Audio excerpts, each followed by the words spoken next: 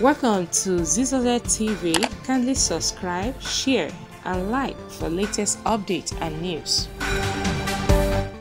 The Subscribe 36 to this are channel supposed to meet and with the uh, press like to discuss when you this. And our request You'll be able to get notifications. and we are unanimous. All the 36 Okay. governors We love you agree to this. But like every country in the world that has changed currency, let the old notes and the new notes be used side by side until such a time when all the old notes have been systematically drawn out of circulation.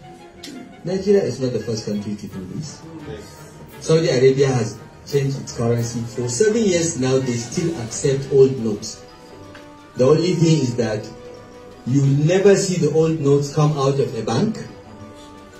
Even a trader will not give you change in old notes because they have printed enough of the new notes and they are carefully and systematically withdrawing the old notes from circulation. The United Kingdom just got themselves a new king, King Charles.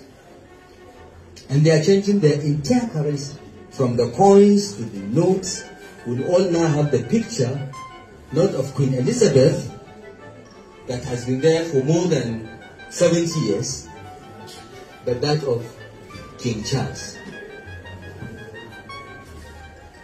But from now till the end of time, if you go to England with a pound note with Queen Elizabeth, it will be accepted as legal tender